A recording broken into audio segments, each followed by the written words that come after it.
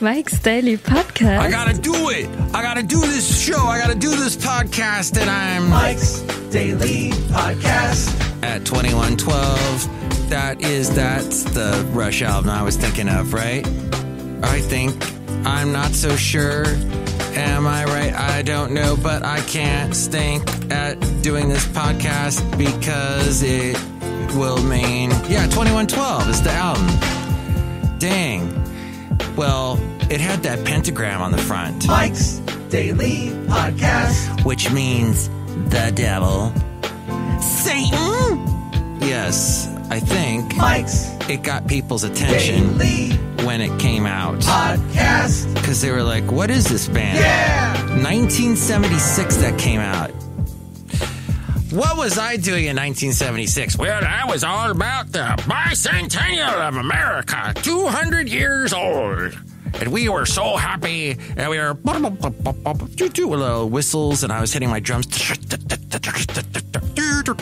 and we were walking down the street because we had our little colonial outfits on, and the Freedom Train came through. Freedom Train. That's right. There was the Freedom Train. It came through where I where was it? We had to drive, I think somewhere out to the San Gabriel Valley or something. By the way, I'm looking out over the Pleasanton, Livermore, Diablo Valley, and it's all smog, choked with fire and smoke. Well, not fire, but the smoke is just sitting there and you can't see across. Just the worst breathing now. Just no air, no good air, no air. Is that a Jordin Sparks song? And that's why I do a podcast, is because I remember songs. And I'm not going to sing all Simple Minds, because I think I turned off some of my listeners with all my singing. I don't have a wonderful voice, I know. But I do know I love some Simple Minds. Not just the band, but people with simple minds, because they're entertaining. At any rate, the San Gabriel Valley And here's today's podcast picture. looks like how the Diablo Valley, Livermore, Pleasanton Valley look. San Gabriel looks like all the time. Right now, it's just because of the fires, and someday this will blow out and will be nice, clear air. But man, San Gabriel Valley, the worst. Just, ugh, horrible air. Why did I bring it up? Because that's where the Freedom Train was. Freedom Train. You know, train, Freedom Train. And 2112 Rush, it was a concept album. Their the band's label didn't want Rush to do another concept album. Basil didn't want them to do another concept album. He's like, "What? What's this crap? I want songs. I want snappy pop songs, Rush. Give me more Tom Sawyer and less long, complete uh you, um Closer to the heart. Yeah. Thank you, Geddy Lee, for your wonderful album. And Neil Peart, the late great Neil Peart, who we lost not too long ago. And uh, uh, Alex Lifeson. And uh, I went to see. Oh, here's the track listing for 2112 Lessons, Something for Nothing, Tears, 2112 Overture, The Temple of Oh, Syrinx, that's right. Oh gosh, my friend um Discovery presentation, Oracle the Dream, Soliloquy, Grand Finale. My friend Mike loves this band so much. And so I go and see Twilight Zone and Passage to Bangkok. I went to see Rush twice, and the first time was at the Forum in LA, and then the second time, that show was okay. Primus opened. That was incredible. I'd never heard of Primus before, and then I was, whoa. And I think most of the Rush fans didn't know who Primus was, but that was a good show. Then the second time was at the Irvine Meadows Amphitheater. That's gone. That's condos now. Before it was the Irvine Meadows Amphitheater, it was Lion Country Safari, where you take your car and drive through uh, just a bunch of just a bunch of land. They'd lock the gate behind you. It was basically Jurassic Park with a bunch of lions walking around, thinking about eating you. That's what it was back back, way back. So the the the second time I saw Rush, Irvine Meadows Amphitheater, the band Mr. Big opened for them.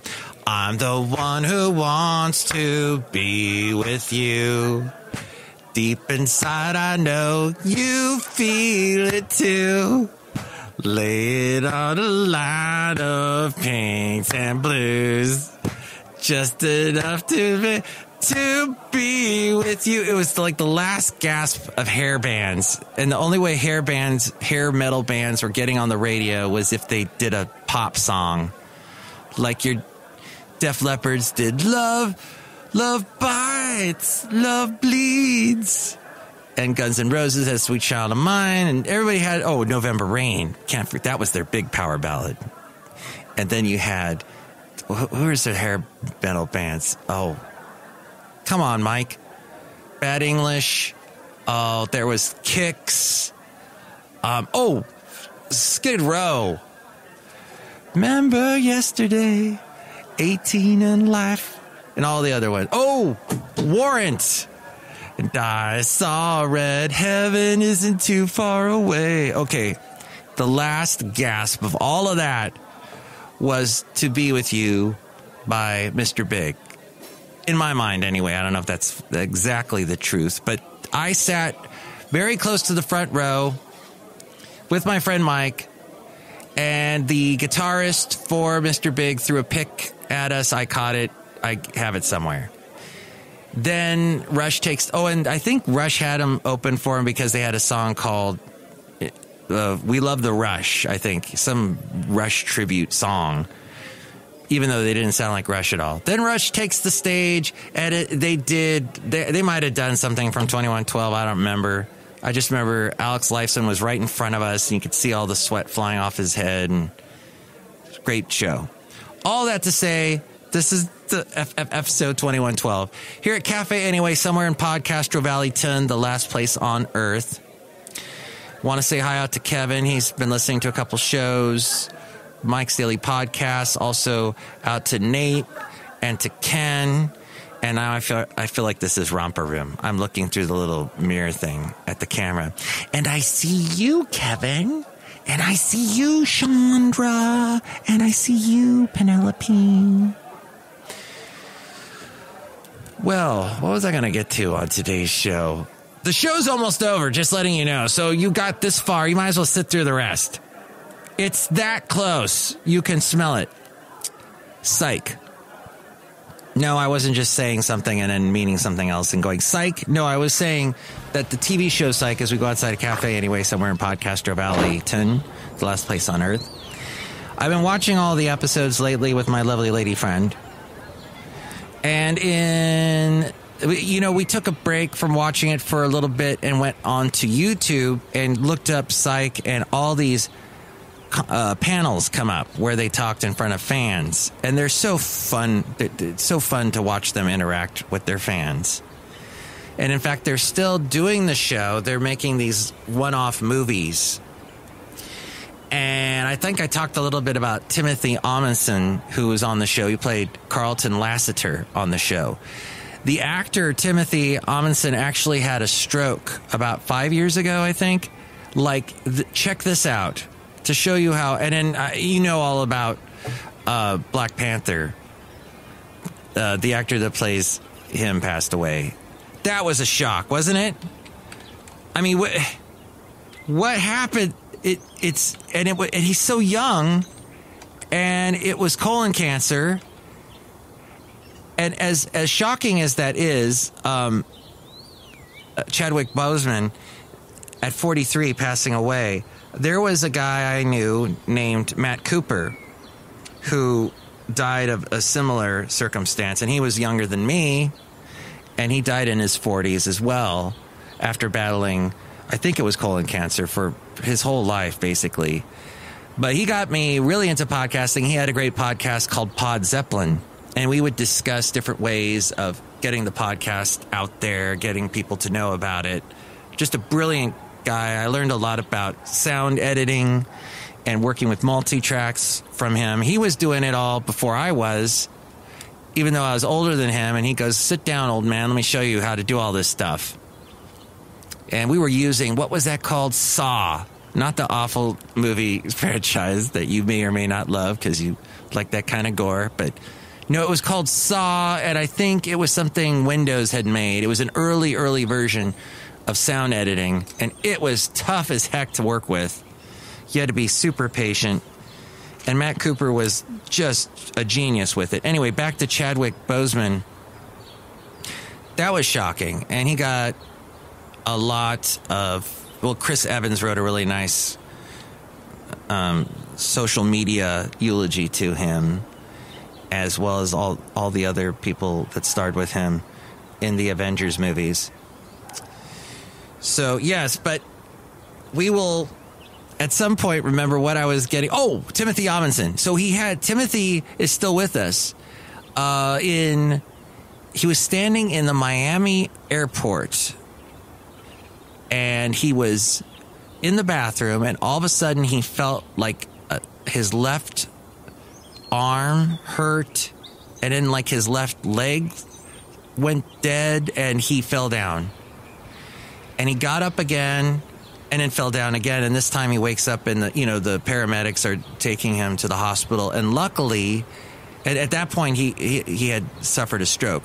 But was amazing was he was in this, that city in Miami was one of the best um, stroke victim doctors. He could work. He was really good with helping people recover from strokes and, and to save them. He basically his his brain was hemorrhaging really bad, and they had to open up his skull. And yeah, he still got a scar from that.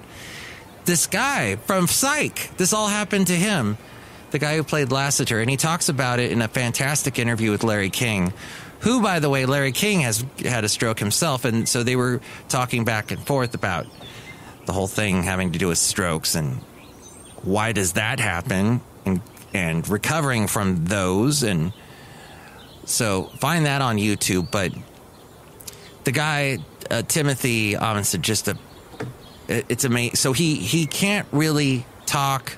He has to talk in short bursts now and he said he's lost the ability to memorize he used to be able to memorize lines really quickly being an actor that's important that's why I could never be an actor. I have I have bad time memorizing things. I can talk to you on a podcast for 15 minutes, but to just memorize lines and then spit them out, very difficult. At any rate, all that to say, we're loving Psych and we're watching it, and we were learning a lot about all the interesting people behind that show, that comedy, about a guy faking that he's psychic and he works for the police department in Santa Barbara, which is another reason why I like it because I went to school in Santa Barbara, went to UCSB there, and they reference a bunch of stuff in Santa Barbara. Plus, the lead guy reminds me of someone that I knew back in Santa Barbara, Ventura area. And so, sort of like I know those people. But uh, Mr. Timothy Omundson was and I hope I'm saying his name right. I'm realizing now, about halfway through the podcast, that I probably have butchered his name. Yeah, Amundsen. Like, th- that's a Viking, isn't it? Ra- Raoul Amundsen? No, he was the guy that went to the North Pole or the South Pole. One of those dudes. Um, Timothy just saying that, you know, I mean, he goes, okay, so check this out. This is all I'm leading up to this point. And that was an amazing question. Larry asked him, Timothy, how? How on earth have you gone through? You've gotten through therapy every single day, this neurological therapy to get you to be able to even talk to me right now. Um, to even be able to still act. He he acted in the last Psych movie, which came out uh, this year. Which, by the way, I watched the night before my dog Basil the boxer passed away, and I remember watching it, going, "Oh, this is so." It was really sad because there's this one part where Lassiter, he's in a wheelchair, and they wrote it in a way to mirror what actually had happened to Timothy. His character is mirroring what happened in his life, and he's just gone through therapy, and he's about to get up, and and uh, he's seeing his wife, and he's going to st- get out of the wheelchair and walk up over to his wife and, and hug her in the show.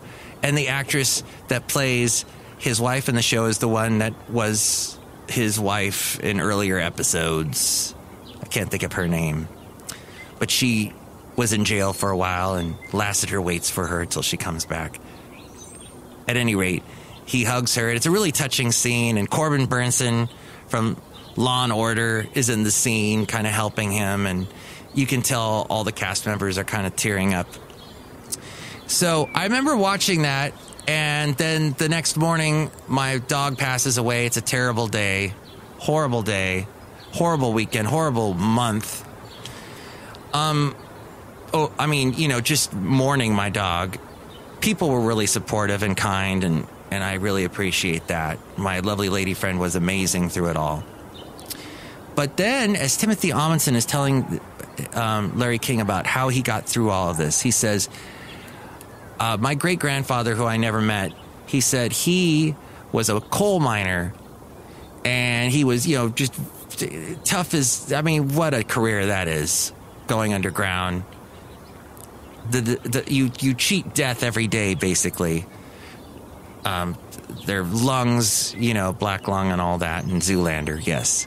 But Timothy Omundson said I could just hear my great grandfather, who I have never met, saying to me, Come on, Timothy, you can do this.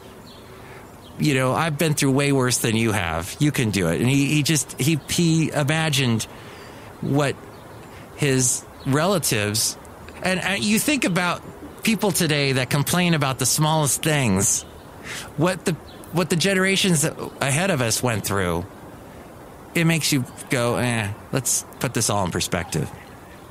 And the other thing Timothy said was that he, his next door neighbor, came over to his house one day and said, Hey, do you know a, a good neurological doctor? And Timothy's like, Yeah, sure. Uh, wh- why do you need that? He goes, Oh, you know, I think uh, I might be getting uh, multiple sclerosis. And Timothy's like, okay. So the guy went to the doctor, and then the next day he comes back to see Timothy, and and he's got to his expression.